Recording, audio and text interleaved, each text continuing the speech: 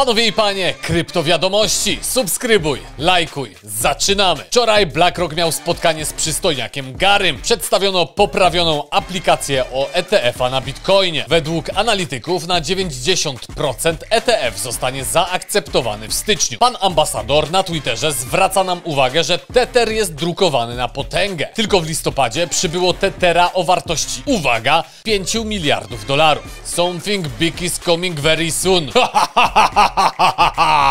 Plan B, twórca modelu Stock to Flow, opublikował nową predykcję, według której Bitcoin w przeciągu nadchodzących 4 lat może osiągnąć nawet 524 tysiące dolarów. Łysy się zgadza. Po akceptacji ETF-a sky is the limit. Także jeżeli myślisz, że pociąg ci odjechał, otwórz piwko, załóż kapcie i zrelaksuj się, bo prawdziwa hossa dopiero przed nami. Iha! Dalej, według współzałożyciela Ethereum, Vitalika Buterina, super zaawansowana sztuczna inteligencja może stworzyć nowy typ umysłu, który mógłby obrócić się przeciwko ludziom. Jeżeli AI zacznie postrzegać człowieka jako zagrożenie dla swojego własnego przetrwania, jego celem może stać się kompletne wyeliminowanie ludzkości. Buterin wskazał, że wyniki ankiety wśród 4270 badaczy, że sztuczna inteligencja zabije ludzkość to 5-10%. No, trochę dużo. Dalej, akcje Coinbase zyskują na wartości. Binance dostało po łapach, co oznacza migrację kapitału do Coinbase.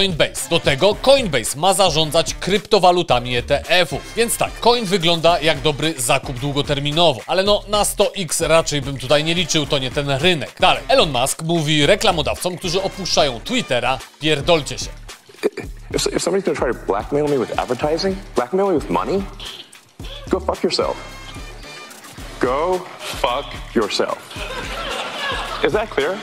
Ale od początku. Elon skomentował post, który został uznany za antysemicki. Rozpętała się nagonka, że Musk jest antysemitą. Reklamodawcy nie chcieli być utożsamiani z antysemitą, dlatego zaczęli rezygnować z promowania się na Twitterze. Elon Musk w trakcie wczorajszej konferencji powiedział im pierdolcie się. Wymienił nawet z imienia Boba Igera, dyrektora generalnego Disneya. Musk niejednokrotnie przepraszał za tweet, mówi, że najprawdopodobniej jest to jeden z najgłupszych jego tweetów w historii. Ale pierdolcie się, do reklamodawców podtrzymuje. Nie będziecie mnie szantażowali reklamami. Dalej, misja Dogeone wkrótce wyruszy w kosmos. Satelita Dogeone, opłacony w całości za pomocą Dogecoina, odbędzie podróż na pokładzie rakiety SpaceX Falcon 9. Misję pierwotnie ogłosił Musk w 2021 roku. Planowany start rakiety jest na styczeń. No może być to czas niezłej pompy na Dogecoinie, ale wiecie, dużo zależy od Bitcoina. Dalej, pierwsze skrzypce na Crypto Bubbles gra dzisiaj IOTA. Projekt pompuje 40% po informacji o tym, że IOTA uruchamia fundację w Abu Dhabi o wartości 100 milionów dolarów na ekspansję na Bliski Wschód. Projekt rzadko wspominany w dzisiejszych czasach, a ja jeszcze pamiętam jak był na czwartym miejscu CoinMarketCapu. IOTA to reprezentant Internet of Things, protokołu, który ma na celu połączenie urządzeń, aby wzajemnie się ze sobą komunikowały i rozliczały. Dalej, ankieta. Co dalej z Bitcoinem? Korekta, czy lecimy do góry? Napisz w komentarzu poniżej. Dalej, pytaliście gdzie kupować Shrapnel, giełda Bybit, link poniżej. Jeżeli kopiujesz ruchy Łysego, to robisz to tylko i wyłącznie na swoją własną odpowiedzialność. Dziękuję wszystkim wspierającym kanał, subskrybuj, lajkuj. Nara.